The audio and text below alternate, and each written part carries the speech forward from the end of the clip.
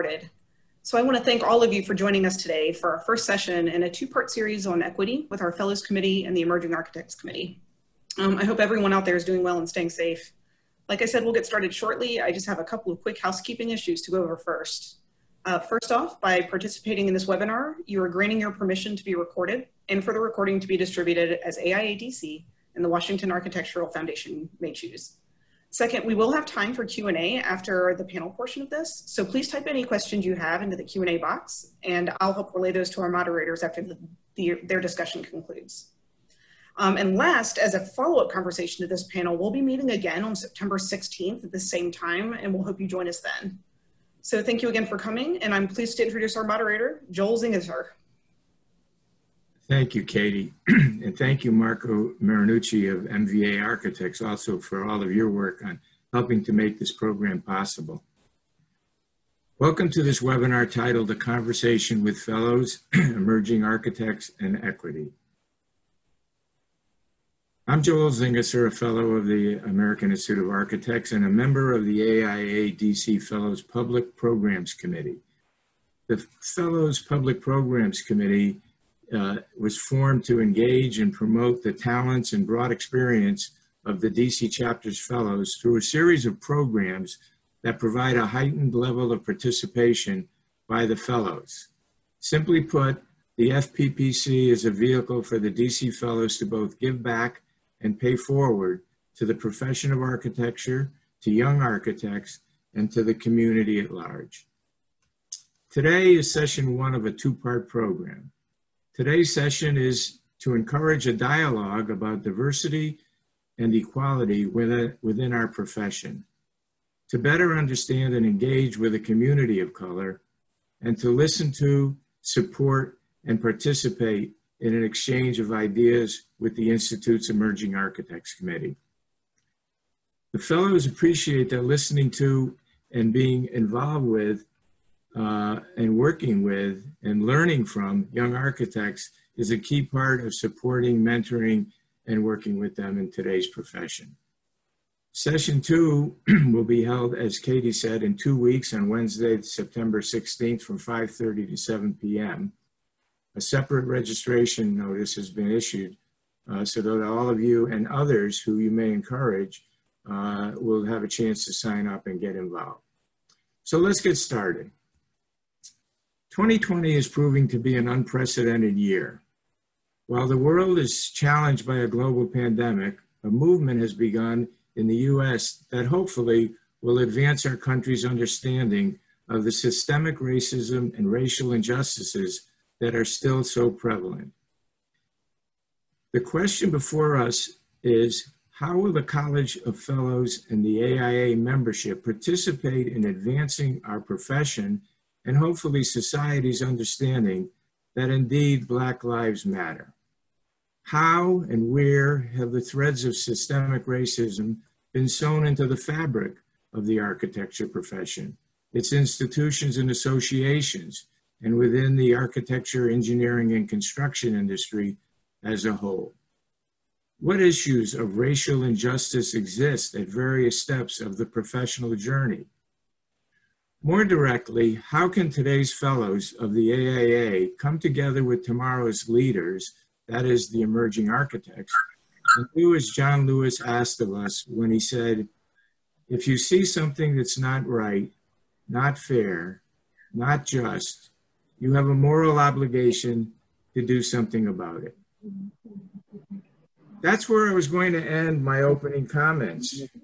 But on this past Monday morning, two days shy of his 79th birthday, which is today, John Thompson Jr., the Hall of Fame Georgetown University basketball coach, died.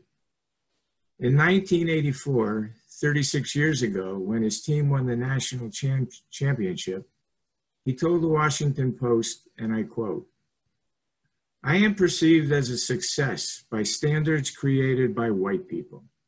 My team wins a lot of games. I make a lot of money. When I'm 80 and look back, and we know that's not going to happen, is that going to make me think of myself as a success? I don't think so. But if I change some things, even slightly, if I stand up on this platform I've been given and say, no, this is wrong, then maybe I will feel good about myself. I may not change anything.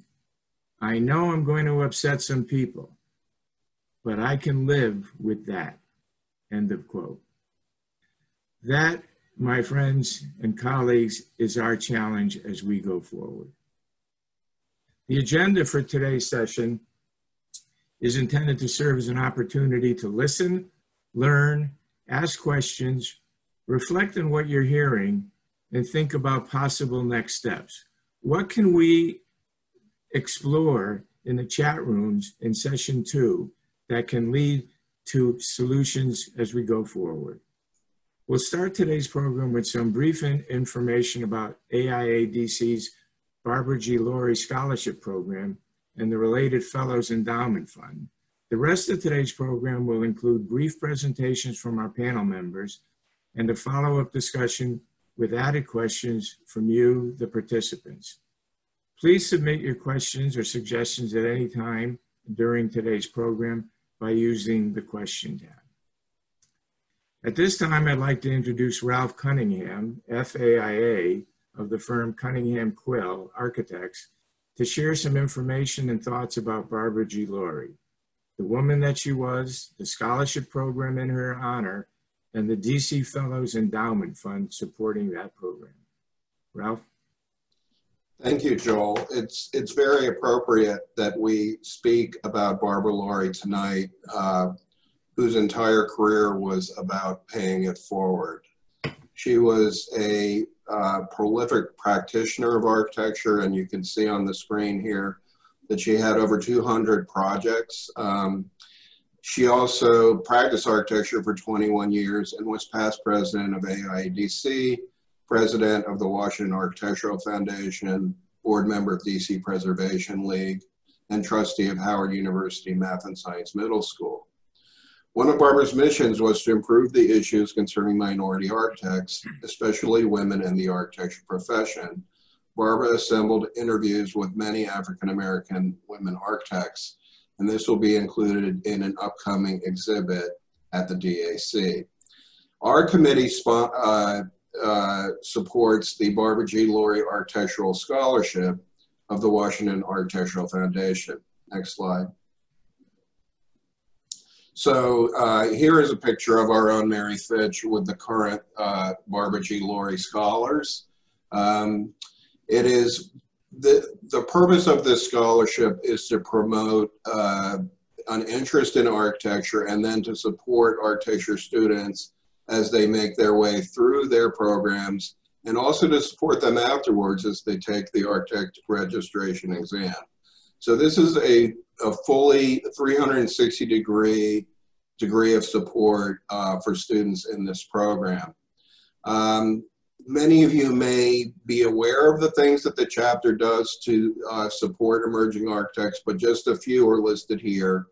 AIADC Mentoring and Outreach, Design Like a Girl, Architecture Summer Camp, partnerships with the DC Public Schools, scholarships, mentoring programs, architecture in the schools, ArchiBuilder Studio, and tools of the trade. One of the things we're going to be talking about this evening is how to expand the pipeline of deserving people into the field of architecture. And these are the things that we are doing right now to make that happen. Thank you. Thank you. Thank you, Ralph. Um, as you can see, this is a robust program, uh, and we'd like all like to uh, see it become even more robust in both uh, its participation and, and uh, financially. At this point in time, I want to start the panel, um, and, and I want to thank the panel members for taking their time to be with us today. Rather than read the full resumes of the panel, I've asked that each member take the first couple of minutes of their introductory comments to provide some insights into their personal journey that has brought them to this moment. First, we have Howard Mack. Howard is a professor at Morgan State University and a design technology specialist and consultant. He is a board member of the National Organization of Minority Architects, NOMA. Second, we have Joseph McKinley.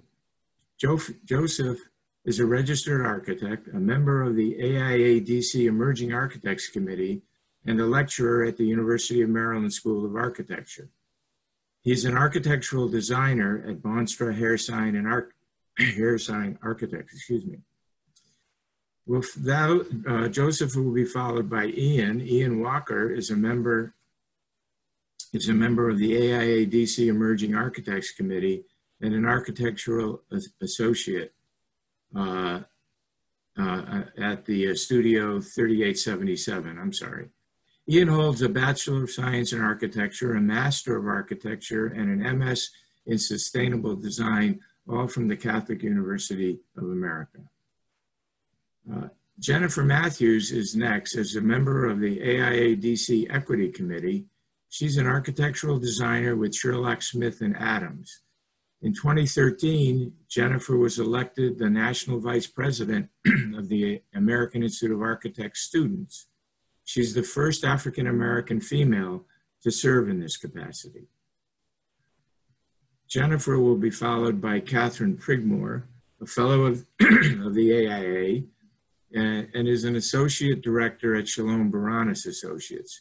She has a robust resume, and one of the things that I noted is that Kathryn was one of the first 20 African American women registered to practice architecture in the United States. Think of that, the first of 20. And that wasn't that long ago. Ronnie McGhee, fellow of the AIA, is the principal of R. McGhee and Associates, which he founded approximately 30 years ago. Ronnie has a Bachelor of Architecture from Howard University. Okay, so first off, let's start with Howard. Uh, Professor Mack, can you get us started by helping us understand the context for today's discussion? How would you define systemic racism and the racial injustice as it exists in our society? How and where does it exist within the architecture profession, its institutions and associations, and or within the architecture, engineering, construction industry as a whole? And how important is it for leaders in the industry to recognize their role and to engage in the effort to bring about change?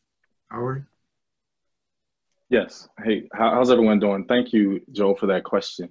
And I'll do my best to answer it as I give this presentation. So, in defining and looking at how um, systemic racism can be characterized, I put together this presentation. Can everyone see, see my screen here? It should be a black screen. If it's black, I'll blacken. That's perfect. All right. So, so basically, the, what we look at with with systemic racism, a lot of times we'll think about racism alone, and then racism as one deliberate act that we can actually. Uh, can you guys see my presentation? No. Okay. So when we look at systemic racism, we look at racism as a lot of times alone as one act, very overt and very obvious. But that's not actually how racism or, originates um, there's a system behind it that actually dictates to um, the racist acts that we see. And a lot of times we don't see that. It's behind the scenes. It is there by default. Um, it is something that we didn't create, but it is there and it does control the racism that we see. And then what happens is we see a continued level of acts that are sometimes not seen. It may be there for a moment, but it's hard to fully notice and put together where it came from. Um, and so that's how systemic racism kind of um, impacts us. But a lot of times we would think, well, you know, I I'm, I'm, i love black people. I have black friends. I'm not racist, but there's an importance in delineating the difference between what is prejudice and what is racist. Um, to not be prejudiced is one thing, but to be racist is to leverage the power of that prejudice against a certain group of people. And if that power is leveraged um, by someone else, but you're contributing to it, then that also puts you in a category of systemic racism. So let's look at the facts that go beyond. First and foremost, we can all admit we did not create systemic racism. It existed long before we were born. It is embedded in the fabric of the country as the country was established with slaves. So while we did not create it, we do then have the, uh, we do contribute to systemic racism. And we do also sustain systemic racism. So therefore, it is on us to change ourselves if we want to actually change the systemic racism or change the system. And it reminds me of a meme that I love to show because it just um, answers the question, uh, you know, gets the point across very clear. The question is asked, who wants to change? Everyone puts their hands in the air. Everyone wants to wants change. But then when it's asked who wants to change, all the hands go down. Right? So this is what we look at when we look at systemic racism.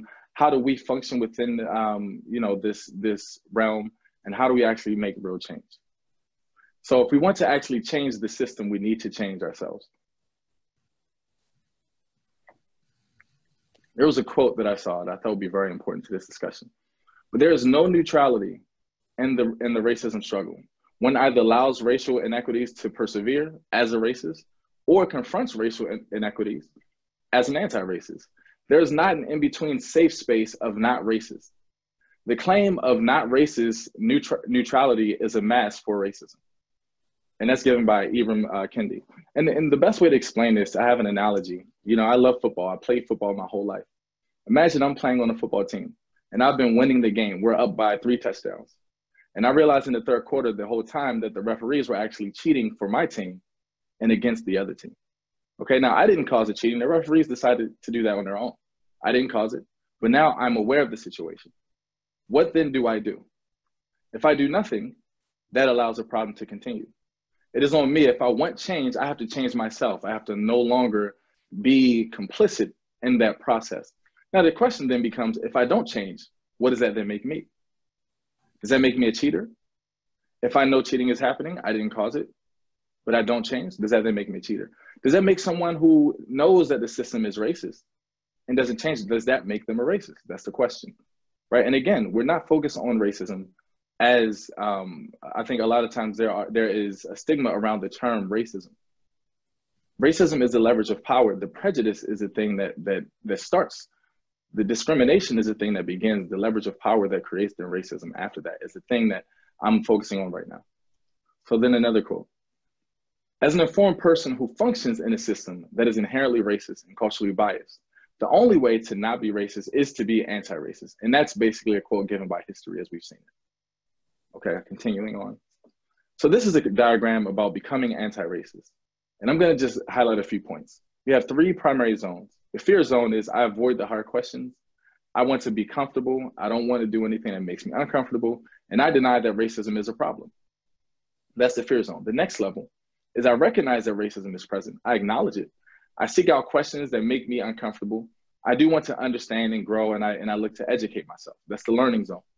Then the final zone is the, is the growth zone. I sit with my I sit with my discomfort. I speak out when I see racism in action, I educate my peers on how racism harms our profession. I don't let mistakes deter me from being a better person. These are the things, this is the zone that we want to get to, the growth zone. So, systemic racism continues to have a profound impact on the industry of architecture through both the profession and design practice. And that's a quote that's going to be given today by today's panel. Um, we're looking at how systemic racism impacts architecture, but not just the profession.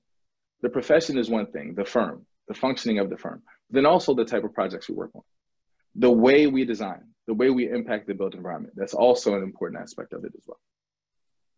And then another quote, we must address both of these with the implementation of justice, equity, diversity, and inclusion. So it's been talked about, and we look at um, these four terms, and these are very important terms. And so what came from it is the term Jedi. You may have heard you know, um, uh, Jedi members uh, who focus on these terms within an office setting. So the question then becomes, what does it mean to be a Jedi? And it's important to note that um, we call it Jedi, Justice, Equity, Diversity, and Inclusion, but it actually should be switched around a bit because there's there are steps to it. You can't get to justice without first going through each step. It starts with diversity. Diversity is having all the people present, and represented. That's diversity. Then inclusion is giving those people a voice, giving those people a say in what happens. Equity is giving those people an equal voice, an equal chance to make an impact on what happens. And then justice is the actual impact that it that serves to be fair for all people involved. So I want to look at um, equity, justice, equity, diversity, and inclusion in both the profession and in design practice individually. So when we look at it in the profession, diversity, representation, like I said, for all people at all levels of the profession. The next inclusion, inclusion, seats at the table for all relevant and impactful conversations and processes. Equity, fair, and quality influence on the decisions and practices and opportunities. And then justice, actions and solutions that are implemented and positively counter systemic racism. Then we're looking at design practice. We have diversity as well, awareness of the impact of parties on a design project, thinking, planning, and designing for all groups of people, inclusion, hearing, including, and also, and it's very important to say, soliciting the voices and experiences of others throughout the design process. Equity is recognizing the direct and indirect quality of space for underrepresented groups and learning the fair and unfair impact of our design decisions.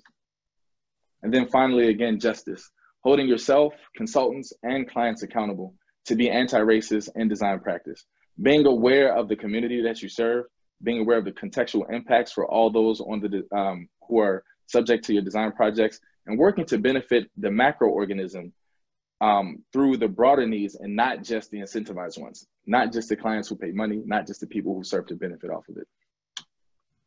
So when we look at this, I just have one more quote, and this is the last one, and this is one we all know. I pledge allegiance to the flag of the United States of America and to the republic for which it stands, one nation under God with liberty and justice for all. And I, and I put this quote back in because justice stands there very clear. This is something that we've all said, that we've said many of times growing up, that we still say to this day. And then once you have justice, um, then you have liberty. That's the final goal is the liberty aspect of it. Um, and that is a goal of what we want. That is the that is what systemic racism stands in the way of, and that's what we want to change. And I just want to uh, highlight this one project. Um, and I and uh, and it's it, it's a cool project. I was looking it up a, a few weeks ago, um, and it's just liberty and justice for all. And it's just a, a, good indicator of where we want to go. So thank you very much for listening to this presentation. Um, and I hope you have quality questions for us to get into this discussion further. Thank you, Howard. That was very, very informative, very useful, and right on target with, uh, with what I think our goals are related to today's uh, portion of our two-part program. Uh, given that our goal for today's discussion is to leave with food for thought and perhaps some early ideas on actions that we can discuss during session two, uh, I'm suggesting a construct that may be useful. Um, if we think of the career path of the profession of architecture to consist of six components, and these are just uh, out of my head with the help of others who have contributed, perhaps we can begin to direct our ideas and initiatives into these categories. First, there's the obvious awareness of architecture as a profession. Uh, if you never heard of an architect or you never saw that this, this profession existed, you're not going to uh, be looking to do it. So awareness is critical and it, it can occur at the earliest stages of uh, ages in, in life. Education then follows. We all know that education, especially public education, is, is the great equator in, uh, in a, a democracy. Uh, education in the architecture profession has to be sought after. It has to be something you're interested in. Um, then we move into a career, career entry. You've gotten your degree, you're ready to roll out and get a job. Then licensing so that you can legally practice this profession and, and meet all of the requirements of the, of the profession to, your, to the uh, uh, community as a whole. Their career roles and responsibilities. The profession of architecture allows for very, very diverse roles and careers. And when you look at some of the things that fellows have done, uh, they, they fit in a wide uh, category of, of uh, activities and functions, all related to architecture and the building design and construction world. And then finally, leadership opportunities. We, we all are leaders uh, at some point as we grow in our, in our lives. Right now, we have leadership occurring from very young in the, in in the discussions we're having, but leadership can occur, exist at almost any level. Um, but if you're a leader of a firm, that's a very specific role and a lot of responsibilities and a lot of opportunities. A couple of overarching questions that I hope the panel members can weave into today's discussion are, what issues of racial injustice exist at each step of the professional journey? Where can the synergy between the AIA fellows and emerging architects be most effective? And another thought is what are, what are your thoughts on how the best way for all of us to seize the moment and affect change? So with some of that in mind, let's, let's hear from our individual panel members. Joseph, please tell us a bit about yourself and thoughts you have about the issues of awareness education, the early points of engagement in the profession. Joseph? Uh, sure, and thanks for having me. I'm uh, really excited to participate uh, on this panel discussion with you all. Uh, a little bit about myself. Uh, I grew up in Kingston, Jamaica. I did my undergraduate degree there, and then I did my uh, master's degree here in the U.S. at UMD. I'm on the Emerging Architects Committee as the outreach advisor for this year, and I also teach design studio at University of Maryland. Um, so as I mentioned, I grew up in Kingston, Jamaica, um, and our downtown there is uh, it, it, visually it's a little bit it, it was a little bit depressed, and I always wanted to fix it growing up. I always wanted to live somewhere that I thought was beautiful, um, but I didn't quite put two and two together that that's what architects could do uh, until I saw uh, my own home be transformed by an architect uh, when my parents uh, decided to renovate it. Then, you know, I made that connection that, hey, architects can shape their built environment. Uh, that's exactly what I wanted to do. Uh, so I set out to do that, went to undergrad at UMD and then uh, uh, in Jamaica, and then I came here to the US uh, to do my master's. When I got here, I realized that 2% of architects here in the US are Black. You know, that, that's a number that a percentage I've heard several times over. Um, and when I heard it, it was extremely discouraging. Uh, you know, especially as a, a foreign um, student at the time, uh, you know, I thought my biggest hurdle to, you know, breaking into the architecture scene would be that I, I wasn't from here, but then, you know, that 2% of architects number being black just made it seem like such an exclusive um, um, career to get into. So that, that number, it's, it's kind of daunting. Um, then I realized, you know, as I you know, progressed that architecture just isn't on the radar uh, for enough young black people. Um, I've worked, I worked with a nonprofit last year and they're a career focused nonprofit uh, dealing with um, young black girls looking to get into college and, you know, charting careers for themselves.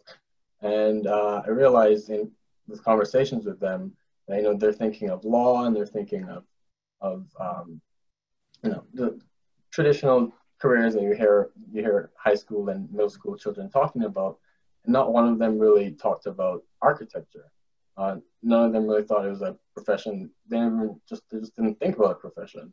Uh, and I've, I've, found that uh, more and more, you know, that young black people just aren't necessarily aware of the profession, and it's something that I think the AIA uh, we can we can work on. You know, because we realize that uh, representation is important. You know, if Black people um, are being designed for, then you probably there probably should be representation for them on the design team, but also just generally in the profession.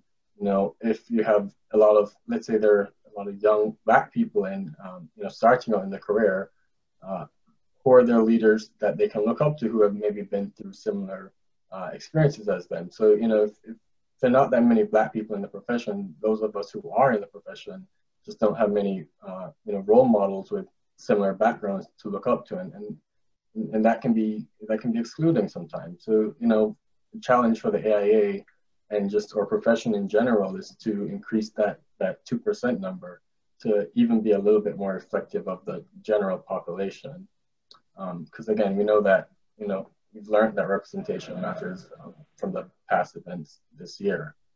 Um, you know, if kind of one final point that I would probably make, uh, and, and, I'm not really here to offer a thesis, it's just to offer this, um, you know, a few points, uh, and then to participate in the questions and panel discussion later.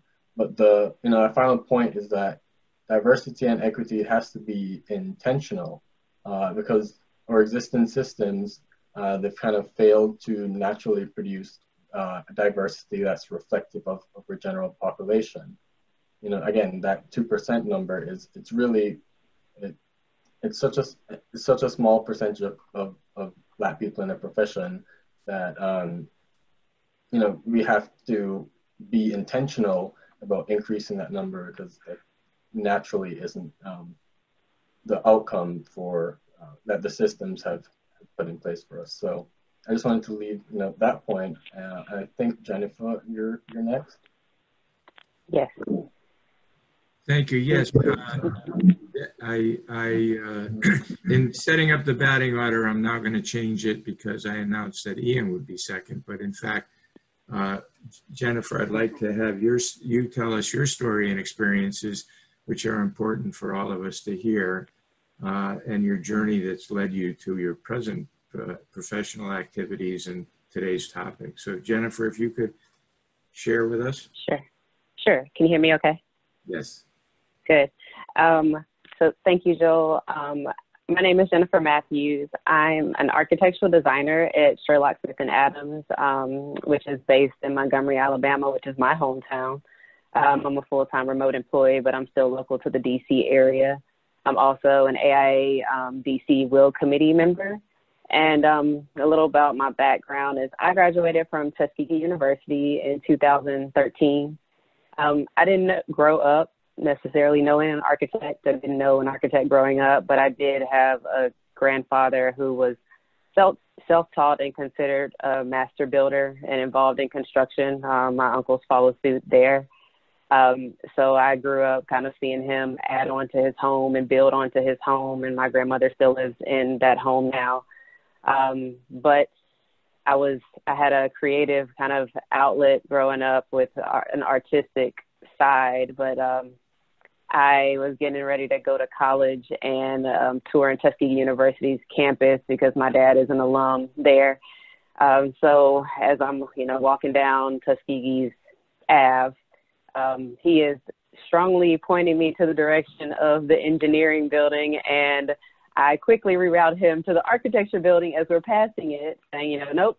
I think this is where we need to stop because engineering is not it, and I wanted to me- maintain that creative outlet um, so from there, um, you know, things kind of fell into place. It was the first time I walked in a building and um, saw Black architects, um, talked to the professors at the time, both male and female, um, and really just kind of got a, a feel for what they did, what they created, projects that they um, had the students do, and just what it meant to be an architect or a Black architect. Um, and I pursued that path going into Tuskegee's um, first year program. I entered, you know, that program with 85 fellow colleagues.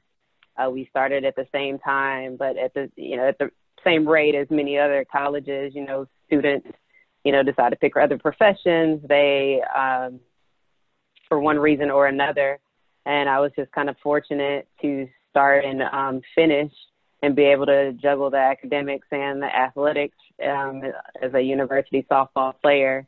But um, there were two main things that really defined my college career at an HBCU. Um, kind of, maybe actually three. So, I mean, I consider my HBCU Tuskegee University experience as empowering. Um, sort of this like leadership awakening, self awareness, love, and kind of this determination um, that was established by you know the people who look like you around you, the support that you have. Um, I had an amazing advisor um, who, at our third, fourth year, told us to you know hold hands and look at each other, and instead of saying you know the person standing next to you probably isn't going to be here by graduation, the message was flipped, and it was you know the people standing next to you, you know you're accountable for and you you want to see them next to you at graduation so we we stuck together and, you know, we supported each other. We, you know, persevered through that. And, you know, starting with 85 students, we graduated with only 13. And um, we had that number roughly, you know, around our um, going into our fourth year. So, you know, having an advisor who gives you that message of like determination, um, as well as just that overall mentorship. Um, so aside from the advisor, I had an, a mentor that I established while I was a third year student at Tuskegee. And she was a black female architect who I'm now proud to say that um, she's currently my boss. So it kind of went full circle, full round. But um, having that advisor and that mentor were huge game changers to me to see somebody that looked like me as I'm going through this program, um, you know, that's very, you know, supportive and uplifting But having those two people, you know, tell me about opportunities, tell me about programs, tell me about the events that are going on outside of the gates of Tuskegee University's campus that gave me that exposure to know that there was more, to know that there were things that we all could accomplish was completely changing for me. It was just a kind of a, again, like a, a self awareness and kind of awakening moment in my college career. So I went on to running for um, the national vice president of the American Institute of Architecture students. And again, that was from the advisor at Tuskegee who said, well, there's um, there's these student organizations. It's, you know, AIS, but there's also NOMAS. Um, and they have so many different programs that are out there that are being offered and, um, you know, it's there for the taking. You know, you got to get out there, you got to go to these conferences. So I did go to AIS conferences. I did go to some NOMAS conferences and, you know, just took advantage of those opportunities and what others had to say and those professionals had to say. So I, um, I ultimately ended up leading the AIS chapter at Tuskegee and revitalizing that, helping out the NOMAS chapter as well. And we kind of almost co-led um, organizations at Tuskegee. But I ran for the position, I won, and I served as 2013, 2014 National Vice President of AIS.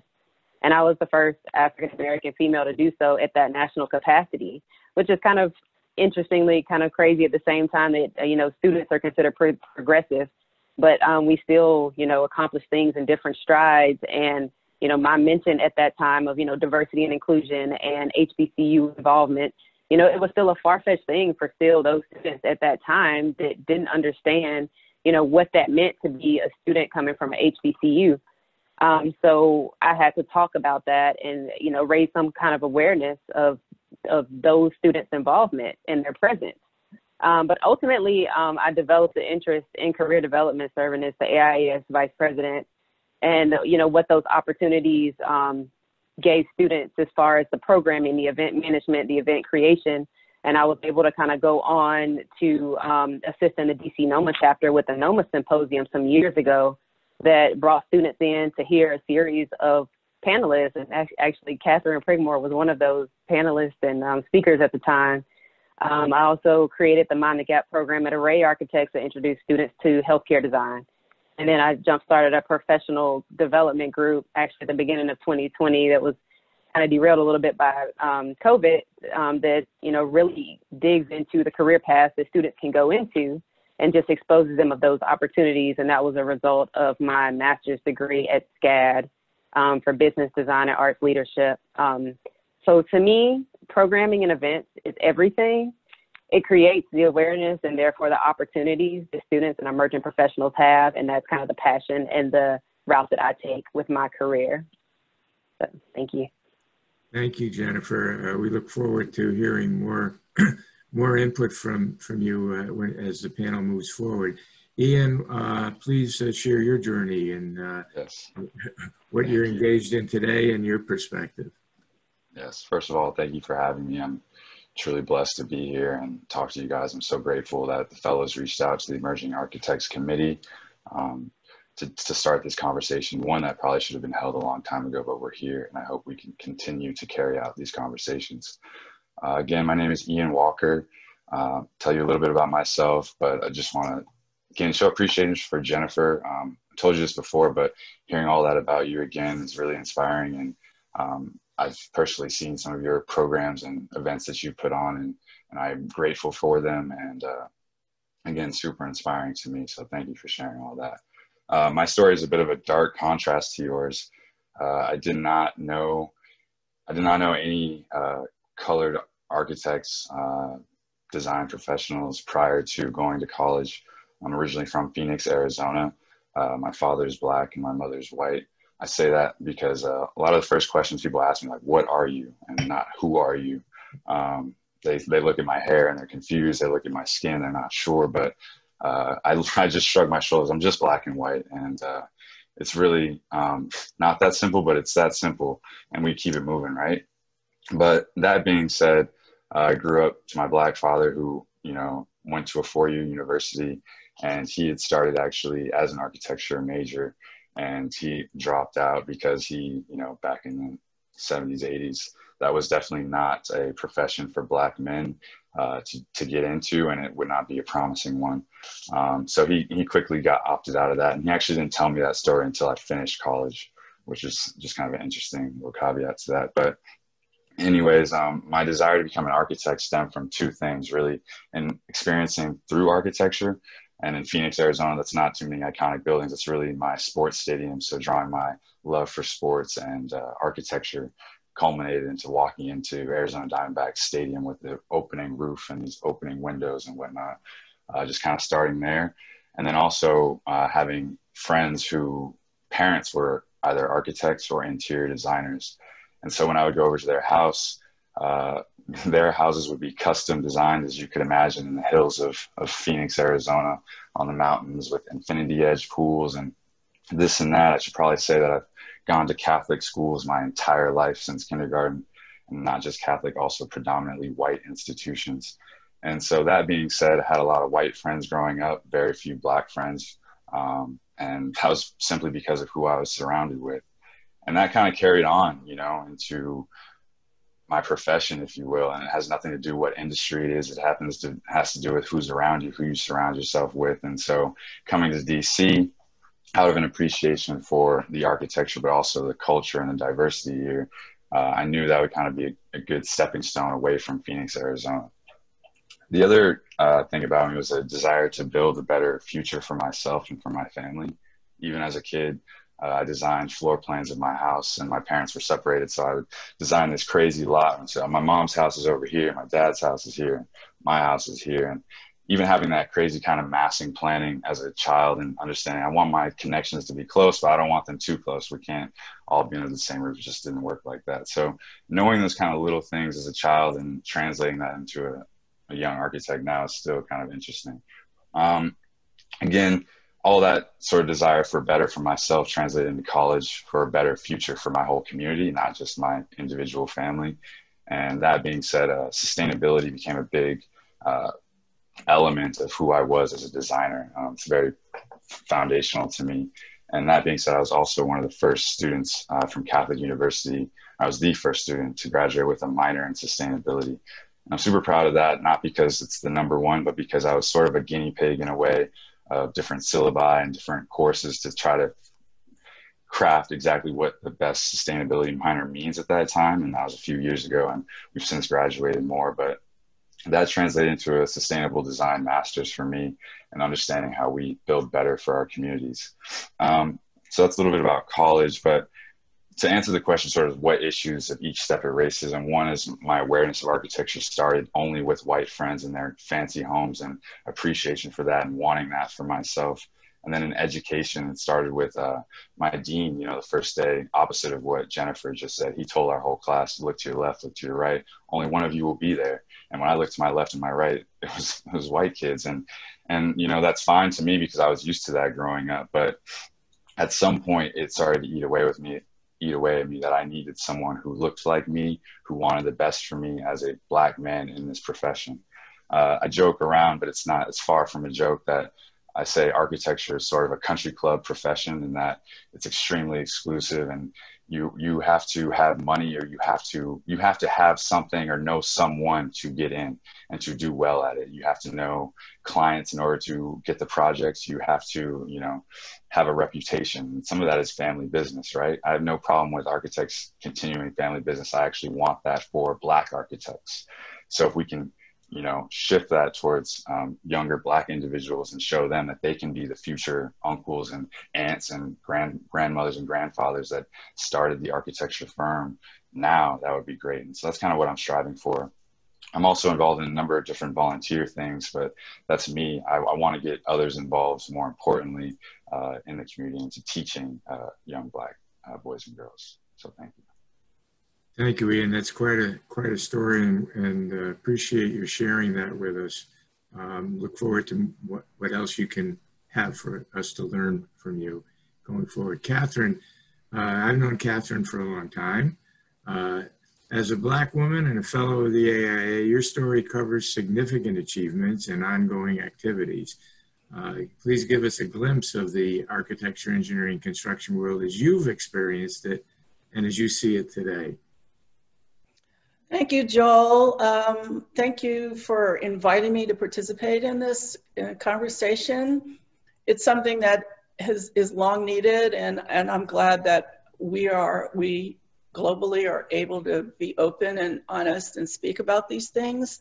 Um, you know, not just as architects, but as just human beings. That's, these conversations are just really needed um, everywhere. Uh, for me, uh, I just want to uh, talk a little bit about my perspective of, of this, the, the racism um, question or issues, because in my career, actually, as in my life throughout, from when I was young, when I was in high school, and so forth, the questions that came to my mind when I faced discrimination was, first of all, wasn't because was it because I was black? It was usually because I was young and I look even younger than I am. Um, and then also, as I grew older uh, in college and working, um, is it because I'm a woman? Is there sexism in, in what I'm hearing and, and what I'm confronting? Um, in addition to the racism. So there's the racism, the ageism, and the sexism. And there's also this other thing that just dawned on me while we were getting ready today, is I have a, a little bit of a, I have a, actually a big difficulty in remembering people's names. So in our profession, as you know, we all, you know, we, we talk, we, we, we're always spouting off um, who, so, which person or which architect designed this, so who the client is and so forth. And I, and you can ask my students, I have a really difficult problem remembering names. So that was also, that's actually also even today continues to be something that um, I encounter um, as an architect as, as being an issue. Um, so I started my architecture career actually before I started architecture. I, my first job out of high school was working for the city of Alexandria. And um, in that environment, I actually met uh, my first African-American urban planner and my first African-American architect. And they um, were really, really supportive of me. So um, uh, when I went off to architecture school, obviously I, I, went to Rensselaer Polytechnic Institute, which at the time was 10% um, female, like barely just got to 10% female. Um, most of the people were from New York or New England, um, which was not uh, something I was uncomfortable with because my mother was from Massachusetts, but it was a very different environment than growing up in um, Alexandria, Virginia. Um, so my background, um, somewhat like Ian's, was basically um, I was a black person living in a white world, basically my whole life. Um, because Alexandria, the, the whole DC area was very different 50, 60 years ago than it is now. Um, I felt very comfortable in a lot of ways at, at RPI because as students, um, you let down a lot of barriers and there's a lot, you know, obviously of, of sharing and mingling and those sorts of things as students. So I was really comfortable at RPI. I excelled at RPI. Um, at the time, there were the, the largest number of African American students in the architecture program than um, they'd ever have had there and have actually have had since, which was not a lot. It was less than 20 out of about 300 students, but it was there were enough there that we had a really cohesive um, group of a cohort going through through architecture school, and they're all they're all still my friends, which is um, pretty unusual. Um, but but what are the what are the things that my my early life um, in uh, in high school and architecture school set me up for, which um, I, I did realize probably 20 years ago or so, was that I was able to function well and excel in an architecture profession in the profession, which is at that time predominantly male, um, we had the saying back then that um, the profession is a is a, a profession of middle-aged white men or men with gray temples um, who either were wealthy or they married wealth. So that's how they're success they were successful. I was obviously none of those things, but because of my background, I was able to maneuver through this. You know, I, I was raised to be able to maneuver through this culture, through this society. And um, I ended up um, doing a lot of things to put me, me, this black person, in the in in the room. Um, I was very active in AIA when I was younger. Then I got involved with NCARB. I was very, very active with NCARB for probably 10 or 12 years. Then I moved back into the, the AIA world. Um, I've been very active in NOMA. Um, my, um, there used to be a little um, uh, thing I had to say when I came to NOMA because half the people I knew really well and other half of the people would say, well, who is she? Where is she from? But um, my job as an African American architect, what I saw it was, is to be in the place where all the other African American architects weren't. And I did that for 20 some odd years um, with these other organizations and um, paving the way for younger people, younger architects to uh, move into um, some of the positions that I held and, and to excel. Um, so the other thing that um, I did um, as a, a, along the way, actually, um, Barbara Laurie and I were professors at Howard University together for a while, and she was she was trying to get tenure, um, and you know, it's, what's changed in the architecture academia is that you actually have to do research or have something like that in your portfolio um, in order to get tenure.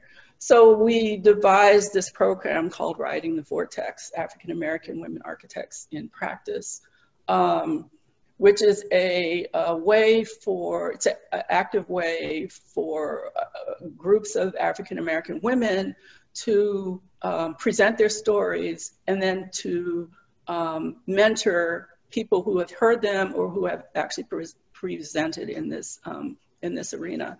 So um, Vortex started in 2007 and it's still going actually. Um, you know, it's, it's just um, something that has uh, elevated a lot of women who would not have had a seat at the table um, to present to national or, or, or, state or local forums.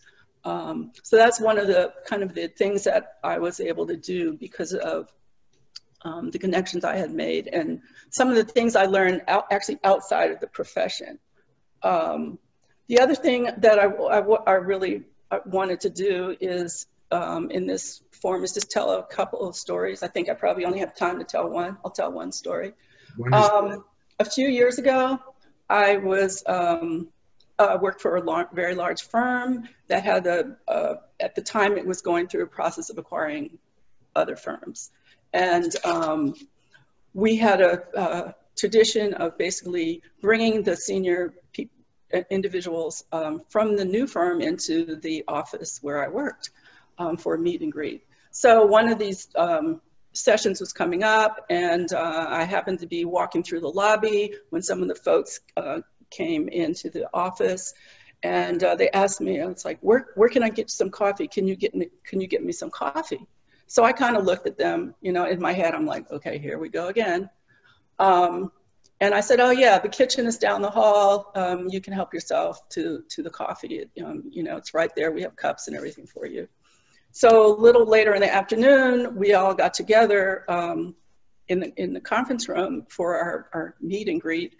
And um, so I'm sitting there at the table and I'm kind of looking around. And then when I introduced myself as vice president and studio leader, um, I was, you know, silently kind of laughing at the expressions on their faces as they realized that you know they had made a, kind of a mistake when they asked me to go get the coffee when they arrived at the office so um, the what I, what I wanted to get out of this or to um, remind people from from this experience which was not that long ago that wasn't that long ago is that it's really important to when you look at someone to put aside your preconceived notions of um, who and what that person is based on what they look like and based on your your experience, um, your personal experiences. Um, because you just never know. You really, really, really never know who someone is when you when you look at them.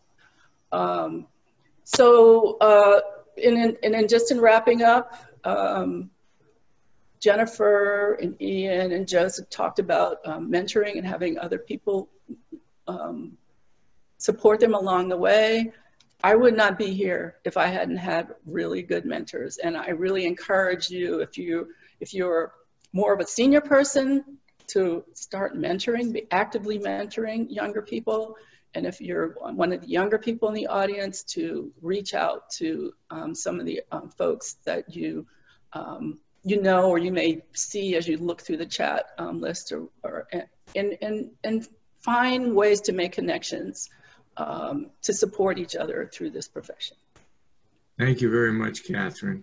Um, we are we are at the point where I can say last but not least, uh, and have Ronnie uh, share a few thoughts of, about his experiences. Ronnie is a fellow of the American Institute of Architects and the founder about 30 years ago of his firm. And so as somebody who's who has gone uh, and put yourself in that position and survived, uh, and by that I don't mean just in the in a racial way. I mean just survived through all the ups and downs of the economy uh, that have occurred. Uh, can you share a few thoughts with us when we have about four, four or five minutes at the most here to to get your, your thoughts on the table, and then we'll move right into the uh, discussion. Ronnie? All right, thanks, Joel, and thanks uh, for having me be part of this, and uh, thanks to all those stories folks we have here on the panel, very, very insightful uh, views of the world. I took a slightly different path, um, um, sort of similar to Jennifer, some of Ian's and some of uh, Kathryn's um, one thing about Catherine and I, I guess I can't remember names either. And I asked my wife to wear a name tag, but she won't do it. Uh, so, um, so uh, I've I've uh, I've um, been a principal of a firm for about 20 years. I was a partner in a firm that I started with another partner about 10 years. So the total's about the 30. We started a firm not too long after school, doing small houses and things. But I graduated from Howard University I took a circuitous path to getting there. I went to uh, Northwestern University for three years, majored in anthropology, um, and uh, always wanted to be an architect. Didn't know really what they did, what they wanted, what they what they actually did every day. But I wanted to. I, I got the most money I got was go farthest away in Chicago, and Northwestern was it. So that's where I went. So about three years into that, two years into that, I decided I really want to go back to architecture school. I applied to Howard, uh, applied to several schools, got into Howard as, as a um, in the third year, and I came back and went to Howard and graduated from there in, in, um, in four years. So seven years total getting out of school. So, um, so I uh, went from there and I worked for a public interest group uh, doing water quality research. Kind of didn't want to necessarily test myself. Didn't know where I fit in architecture. I never met an architect or been in an architect's office at that point. So I, I didn't know any architects. So different from most most people. But uh, so I went to architect school, had never been in an architect's office, never talked to an architect other than my teacher. So the first interview I went on was the first time I had been in an architect's office. So I, I, vowed when I after I did that that if I ever got a chance, I would I would not have anybody I knew that was going to architecture have that happen. Got the job, uh, worked there for several years, uh, but uh, from there I, I focused on getting my license. I focused on learning everything. I I never felt comfortable or smart enough or sharp enough to run a firm. I saw all these partners and all they knew. And like I said, I had no feeling that that would be something I could do, but I wrote down everything, kept track of everything. I wanted to know everything as a lifelong learner. I, I watched people how to handle consultants and, and, clients and everything and work with each other and just wrote things down. I Said, well, maybe some point I'd have my own firm. So I just, I'm sort of naive enough and, and sort of a pessimistic optimist that that would happen. So I um, eventually uh, went to several other firms, uh, but I never felt that um, there was ever a place at the table for me at the leadership position. I always felt like, you know, they had a place somewhere along the, the, the middle of the road, but not a leadership path. And for me to run my own projects, get my own projects, and have control of my destiny. Uh, I mean, every time there was a, a recession, I might be the last one laid off, but I got laid off. So, you know, this sessions in the old days got very, very deep and very, very long. So it might be a 20 person firm going down to four, and I got cut at four, but still I got cut. So I said, I don't want that to happen. Only way I can get cut is have my own firm. That's why that's one of the reasons I decided to do that. So um, but everywhere I went in a firm, I was only one or two black people in the firm. And my, my career has been kind of straddling that lifelong wise. I grew up in an all black neighborhood, except for two really tough Italian families. And uh, I went to um, a little uh, Catholic school in the Southeast, uh, which was 15% black when I started and 95% black when I finished in eighth grade. Uh, so Ian, I know, know where you were at least half the time while I was there. Um, went off to Gonzaga, all white school, total, total culture shock there. Um, I never had felt as much racism and, uh, and uh, animosity toward other cultures that I ever felt was at Gonzaga. And most of it was toward Italians and Polacks and whatever. I heard more, more uh, words about people's ethnic cultures. I had never heard those in my household. Never heard that in my neighborhood. So I'm not sure uh, against Jewish people. I'm not, what, what, what, how could you say something about Jewish people? What, do you know any Jewish people? I, I didn't understand that. So I went from Gonzaga and I'm, I'm, I'm thinking, you know, again, I'm in a, straddling both worlds. I go to Gonzaga during the day, come back to an all black neighborhood in the, in the afternoon. Uh, but you know, I, that was that was that was the culture in those days. Uh, I think other older arch, black architects tell you the same thing. So I went from there to um, uh, Northwestern, graduated from Howard, and I started my path in architecture. And I always thought that um, uh, after going, going to Howard, that I wanted to give back something to Howard. I wanted to give back something to the kids there. So I got a chance to teach at Howard, do some classes there. And uh, I started my career there. So I've been there about 20 years now teaching. And I sort of focused my career. And part of my reaching FAIA was my mentoring of students, mentoring of young architects. Every firm I was in, white, black, whatever, young architects, I tried to bring them along the path. I particularly focused on young ladies that were in the path. In Howard, I focused, uh, Barbara sort of got me involved in trying to make sure uh, women interns, architects, would stay in school, become architects. That's a very tough, tough catch. A lot of them going to construction fields, other fields, not stay in architecture. But I, I, I sort of tried to make sure they at least got to look at the field to see if they can make that decision. Um, but I was naive enough in my career to believe that I could make it, um, make make things happen. I, I, uh, I fought my way through um, the early stages of my first firm. The firm folded at one of the deep recessions. My partner and I decided to break up. But getting access to capital, getting access to the, uh, the, the, the, information network that gets you projects and, and uh, gets you a place to stake, at the, a stake in the game is very, very tough. My second iteration of, of the firm was after I worked for the government for a couple of years as chief of engineering at uh, Bolling Air Force Base. Um, and uh, I saw a little bit wider view of, of, the, of the, the, metro area. So when I came back out, I said, I don't want to start my own firm. That's too tough. I'm going to work for a corporate firm. I worked for a firm for a year or so. But I decided again, I wasn't going to get a place at the table. We decided, I decided this is not going to happen. So I went, had side projects, and I got a couple more side projects. Finally, I started hiring people. So I, I started my own firm again. So, uh, which is why I have gray hair now. So, but what happens is as an African American architect running your own firm, I find that most of the folks that get to some position of leadership are a little older than their uh, compatriots, white or Asian.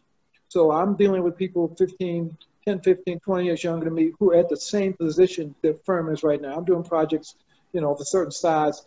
Um, and I'm, I'm dealing with people that are competing with me that are younger than me because they got there faster. They got they had access to things that I didn't have access to. I have access to them now. So what I'm trying to do is turn around and show young architects how to get there. Um, and this turns out to be a very unique opportunity in history. And in FAIA, um, I was elevated to FAIA about two years ago, partially from architecture, partially from my work in community, partially from my work as mentoring students.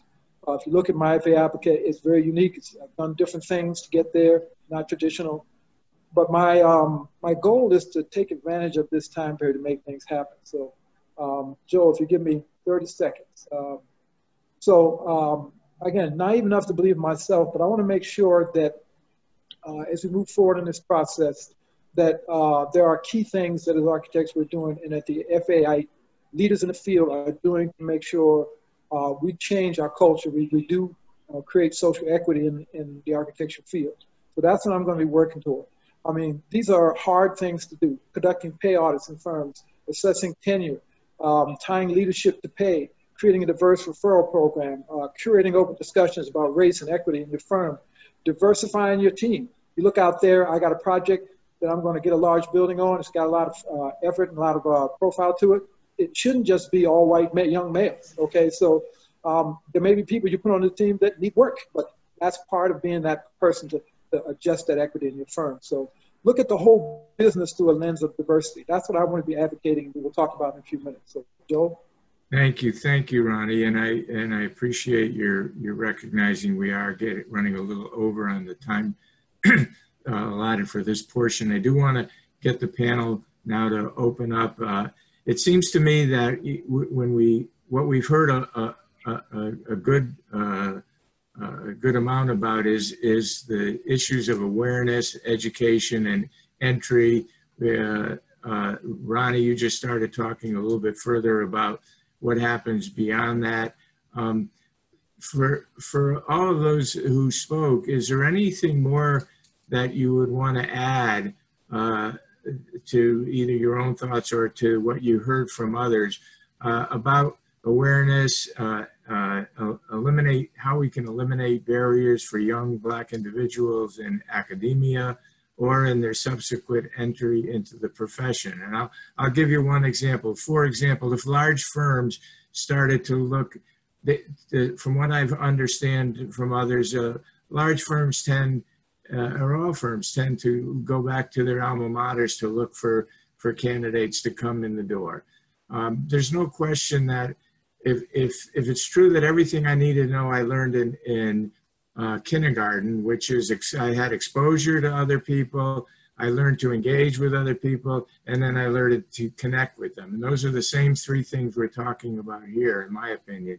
So it, that's kindergarten. That that's what we need to do in a bigger way than I think we've done it as a society. And that's what I'm hearing you say. So let me stop talking. Um, what what are the kind what other kinds of things can we do in the area of recruiting? For example looking back at your alma mater if it's not an hbcu uh, but but uh, another major institution and say i'm not going to come to your career fair unless you show me that you you're doing more in the areas of diversity and inclusion in, in the student body. Putting pressure back into the system um, that's just a thought and I'm going to stop. Uh, anybody have any more thoughts about this kind of front end of the of the process?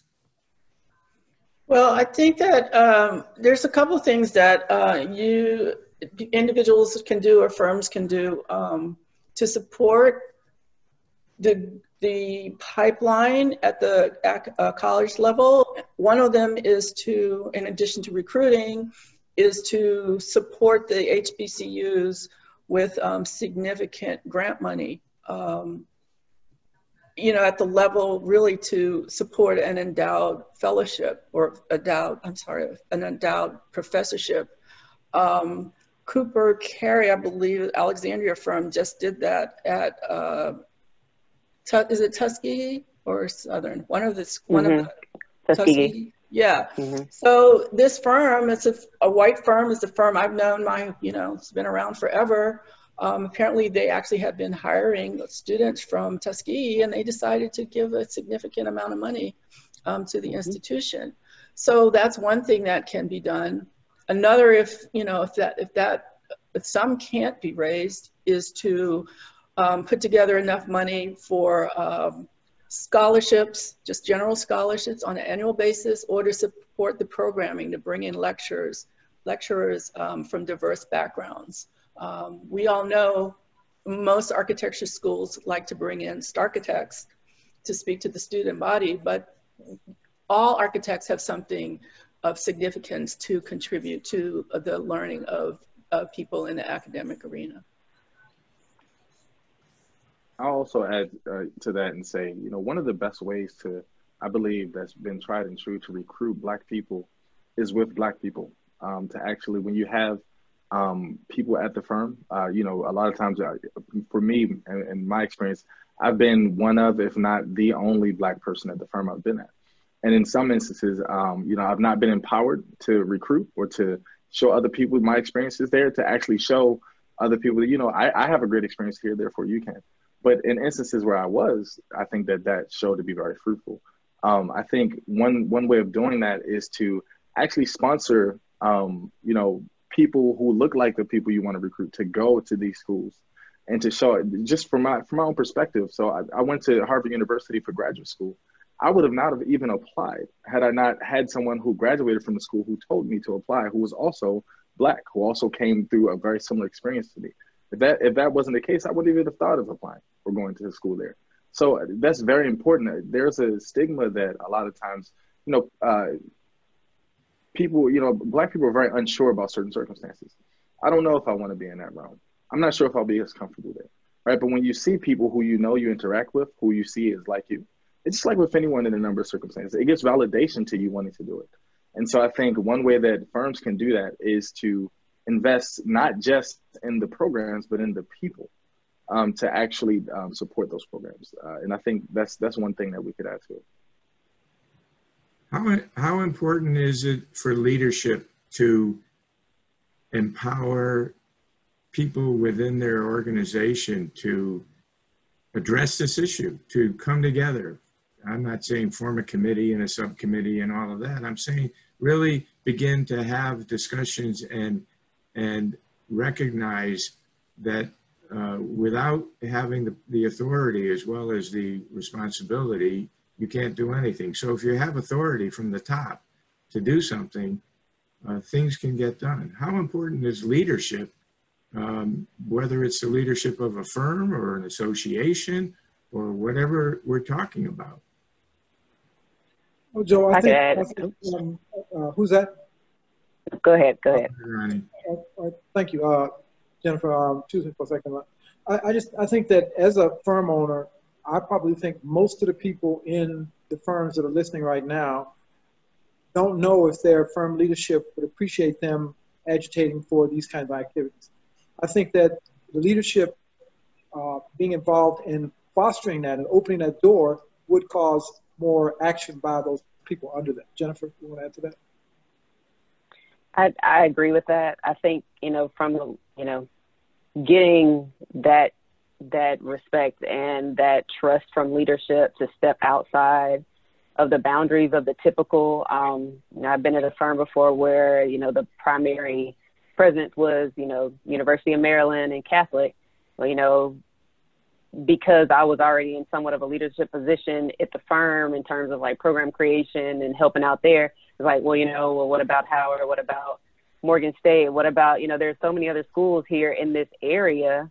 You know, why aren't we going to those programs as well? And if they don't have formal career fairs, you know, there's nothing stopping any architecture firm from going to either, you know, do a seminar, setting up a table in the hallway and having the, you know, the professor say, you know, such and such architecture firm is going to be here on this day. If you like to set up a time to talk with them and hear from them, do that. I mean, I think there's so many different ways to be creative um, to get your either your firm out there or to get engaged with these local universities. Um, you can't always expect the student to come to you. Um, one example of that is that um, at a larger firm, um, there was a leader who asked me, he's like, well, I've never seen a resume come through my desk from Tuskegee. And it's like, well, I mean, you know, these students, maybe first through third year, may not be even aware of your firm, but as well, you know, where it's Tuskegee, Alabama, you know, we do have to go out to the different cities to, you know, participate in different firms and get exposure there. And then you're also, you know, um, relying on the fact that these students have to go back to their home cities to even know about your firm and to know about you and to know the opportunities within your firm. Sometimes it's on the firm to get those opportunities out and to reach out to those individuals that you need um, to be representative of, you know, your employment um, at your firm. It's just not on the students and the universities to, you know, constantly reach out to you.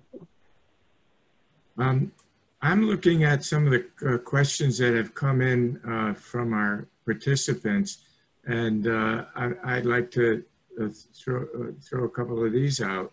Um, how might addressing the challenge of systemic racism improve our collective ability to address climate warming? And, and I would add to that, what, what, in addition to climate warming, I think we can say the industry is changing, our world is changing, and there are other avenues. When, I don't want to get into my life story, but I'm not a designer, and yet I'm a fellow of the American Institute of Architects. My career path was very different for a variety of reasons. But the point is, you don't have to be a designer, but design is important, obviously. The, the, key, uh, the key to this question is there are a number of different facets to what's going on. And, and are these opportunities, because they're different and unique, and, and uh, not everybody is, is doing it, for us to further break down some of these barriers? I'll stop. Well, if I may, real quick. Uh, oh, sorry, Ronnie. Um, one thing I wanted to, to know earlier in my talk, but I'll mention it now, is architects serve as the greatest clients to me sometimes. And I have not, I've only been able to serve as a client to myself in only a couple instances, one of which is a school bus into a tiny house. So it's a little different, but architects serve as greatest clients in their community because we know we know so many different facets of our built environment, right? And when you talk about design, it's such a small aspect in the actual uh, bringing to life of a building, right? And so architects, we know all the little ins and outs of, of permitting, of codes, of future green building codes and whatnot. We know those ins and outs. And so when we serve as our own clients, and if I dare use the word developers of communities, um, I think that's where we can have some of the most uh, great change and we put sort of money back into our communities again as architects and mindful of, of the buildings that we're going to leave behind i think that's how we'll have some of the most greatest impact on things like global warming or just a better environment that doesn't harness this negative energy of police brutality and whatnot and so I know that doesn't specifically answer climate warming, but I want uh, architects to start thinking themselves more as clients frequently and, and push themselves as small firms, large firms to bring projects to life within their own office. I'm, if I may jump in, um, you know, I think something that we've been realizing more and more lately is how uh, connected, uh, um, you know, I guess, injustices are, and that goes to the idea of, of systematic racism. So, you know, it's quite often the people who are, um, you know, often left behind in terms of, of you know, economics are also people who whose whose built environments have failed them. So if you if you look at Hurricane Katrina, the people who, who have been the most kind of um, who have had the least opportunities who end up living in communities that are also um, unequally affected by climate change, by sea level rise.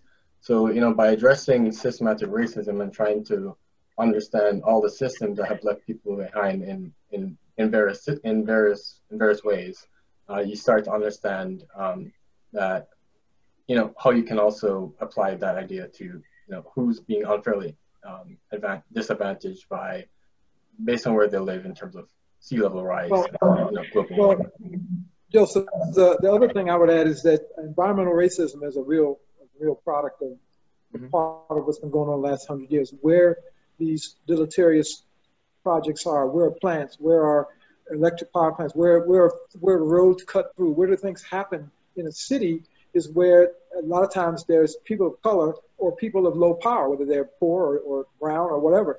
So the idea is that if you're on a design team and you're on a board, you're on a commission uh, in the past, why would you think about those people? Those are others. Those are the others.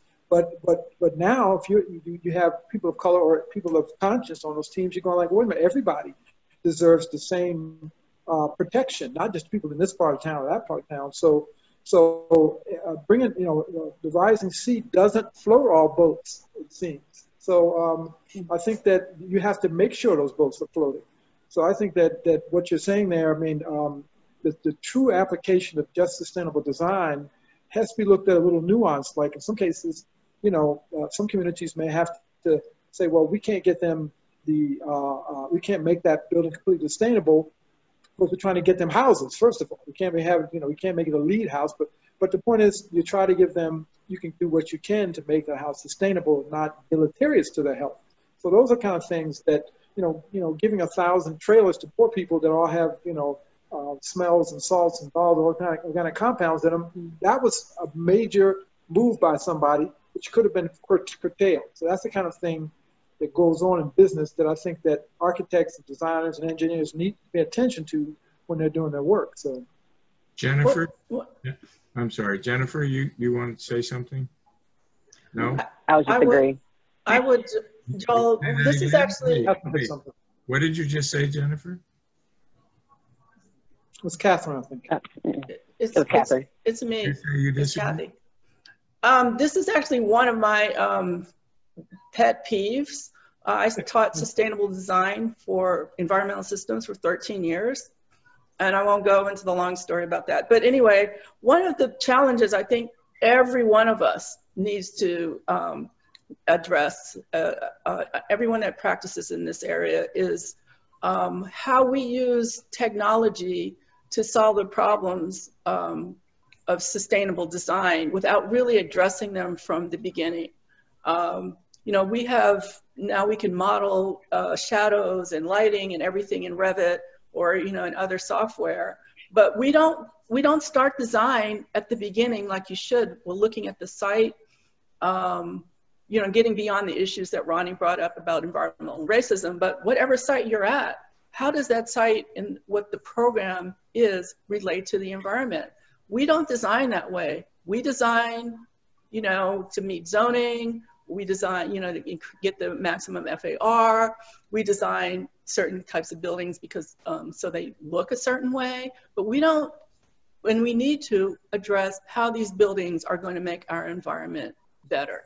And that's starting within analyzing the environment and not waiting till the building's basically designed and sticking it in some um, program and doing an energy analysis and then fixing it, um, which is, is not the optimum way to address um, climate change and global warming and all of those things. We're getting, we're getting close to, uh, to needing to wrap up, but I know Howard has, has something to add. I just want to say that there are a number of other questions.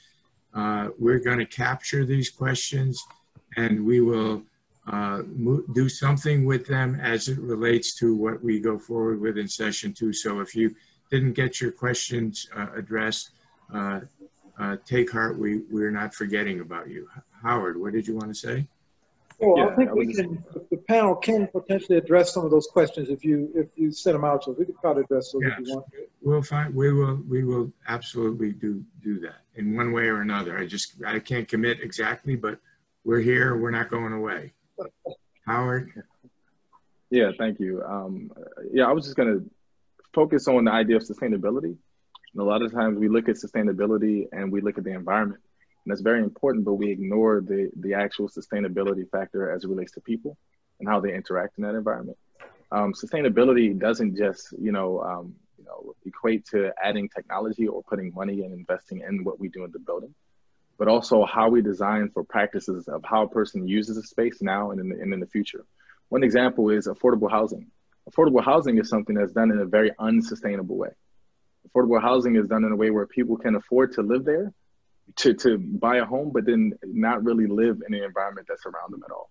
So they don't really stay for very long. So that's very unsustainable. And I think um, when we look at sustainability, that should apply, that should be the word that architects use for everything. We want what we design to last and to last in a positive and impactful way. And that's not just from, you know, a greening aspect. It's not just a LEED certification. It is a sustainability of a quality environment and the people that function within that environment. So I, I think that's um, a lot of times forgotten. I think we do, do need to um, remember that as we as we design. Um, we're at a point where I'm going to look to the panel members. We have about two or three minutes. If anybody has any final thoughts about this or going as we go forward. Uh, The, I would, I would like to say that we we would hope there's another version of this that's coming that uh, Joe will tell you about at the end, but that I expect and warrant and will push for leaders of firms to lead in this in this time. Okay? That's that's uh, that's my few words to say at the moment. Hopefully that is the case. Ian, do you have any final thoughts you want to share? I just want to show appreciation again and also send a message out to the, the participants uh, whom I can't see and tell them please reach out to either myself and obviously I'm going to speak for everyone here, uh, personally, if you have any other questions or you just want to talk about, i.e., this is kind of me asking for mentors, or if you know someone who needs a mentor and you think I might be a good fit, I'm currently looking for um, a younger individual who I could ideally I'm looking for like a high school student that I can I would love if five years from now I'm working next to someone who you know I just spoke to architecture about in high school. So that's kind of where I'm at, and uh, you know, hundredfold if you guys could you know circle that back, I appreciate it. So thank you for your time and listening. I'd like to continue in this vein. Anybody else? We've got one or two more minutes, and then we're going to have a hard stop. Uh, I'm going to say my last words, which are, don't forget to register for the for the program uh, in uh, on the 16th. Uh, we're going to pick this up with chat rooms. We're going to try and put some ideas on the table in those chat rooms where you bring your ideas and we'll see where we can go with this. There are other organizations within the, uh, the construct of, of AIA and NOMA, et cetera, and others who are involved in diversity and inclusion. Uh, we are going to try to work together collaborative, collaboratively um, I just want to say that we, the fellows of the AIA, here in DC for sure, and when I see that what's going on nationally, it's national.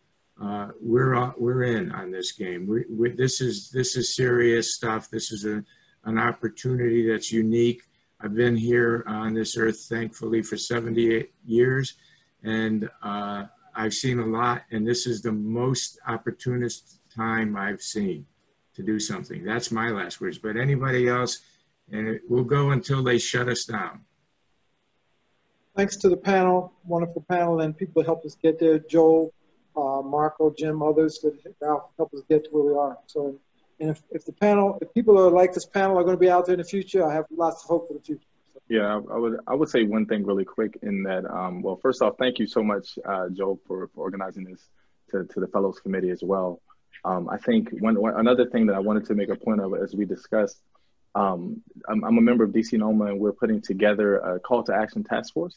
I just want to make sure that everyone's aware of it, um, that everyone has the opportunity to join.